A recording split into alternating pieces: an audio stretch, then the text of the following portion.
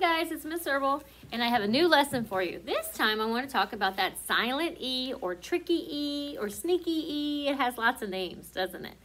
Um, but most kids know that the E shh, is silent. You don't hear it, okay?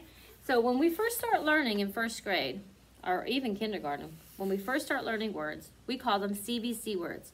They're usually a consonant, a vowel, and a consonant. Hop, hop, right? So most of you know that. So when that sneaky E comes along, it can hop over one letter, then change the vowel. So let's look at it.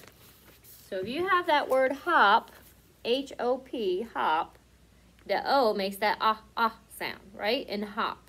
But when sneaky E comes along, he hops over the P, changes the O from ah to O. So now we have huh, oh, hope, and we don't hear the E.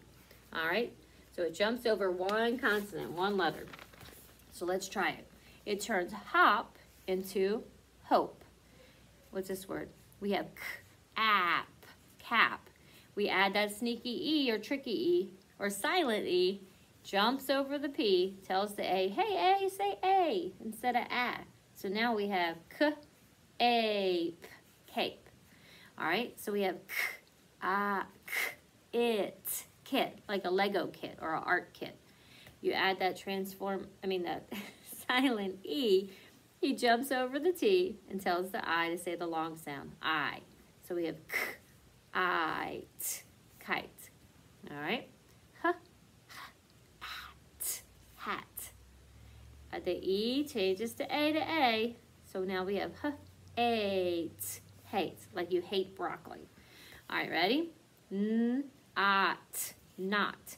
Transformer E, I keep calling it a transformer E. It's silent E, jumps over the T, tells the O to say O. So now we have N, O, T, note. All right? So I hope that helps you with your silent E. There's several videos on YouTube that you can watch. Um, I'll try to place them on there so that you can see them. Okay? All right, I hope that helps with your silent E words.